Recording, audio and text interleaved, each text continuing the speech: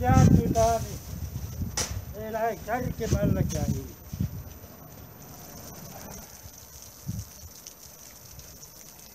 No Ruotsin armeija pommin kestävä Kuupa Lapio.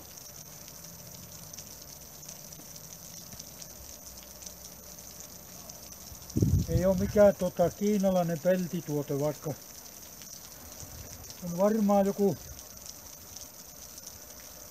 30-luvun lapio on tehty niittaamalla tuo kuuppa kiinni tuohon ja